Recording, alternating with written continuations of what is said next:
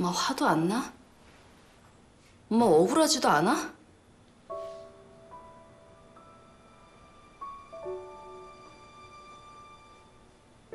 화나. 억울해. 그렇지만 어쩔 수 없잖아. 내가 내가 뭐 하고 있었는지 알아? 여기 오기 전에 나 손톱하고 있었어. 엄마가 이렇게 아파서 방바닥 떼굴떼굴 구르는 동안 나는 나는 손톱이나 하고 있었다고.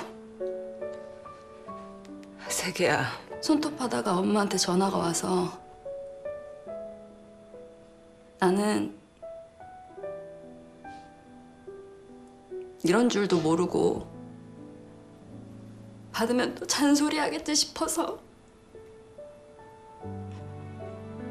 전화를 안 받았다고 엄마 괜찮아. 너는 몰랐잖아. 그러니까 왜 모르게 만드냐고 나를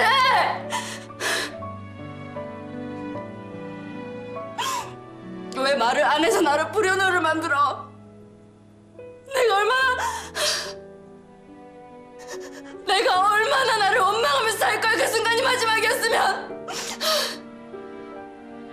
도대체 내가 어떻게 살 뻔했어 미안해. 엄마는 네가 네가 마음 아플까 봐.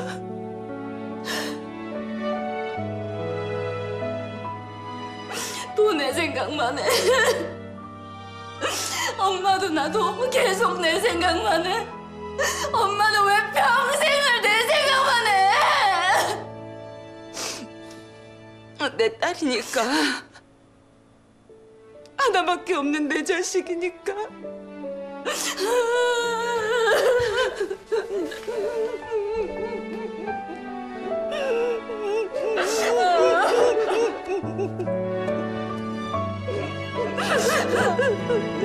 ही